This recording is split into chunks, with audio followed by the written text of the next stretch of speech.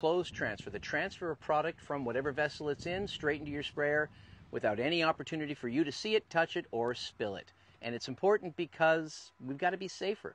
Everyone wants to be faster, for sure, but we've got to be safer. We're handling pesticide now, spraying longer in the year, using more product than we had before.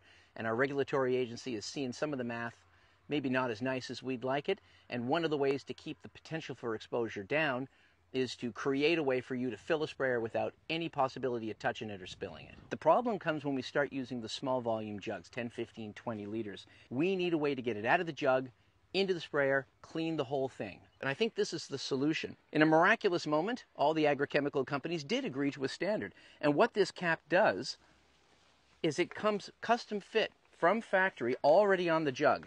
It locks into the system. This is a, actually a prototype, the Pentair Nexus. Up comes this probe. It drains everything out into the suction of the sprayer. This is fitted under the induction bowl. Then it rinses the entire unit in two minutes. When it's done, you lock it down, turn this lever, and it cleans the connection on this sort of dry poppet style fitting, and you take your jug off. That's two minutes. The jug is 99.9% clean. The metering system is clean, the lines are clean, and not only is the jug recyclable, but over there now so are the caps.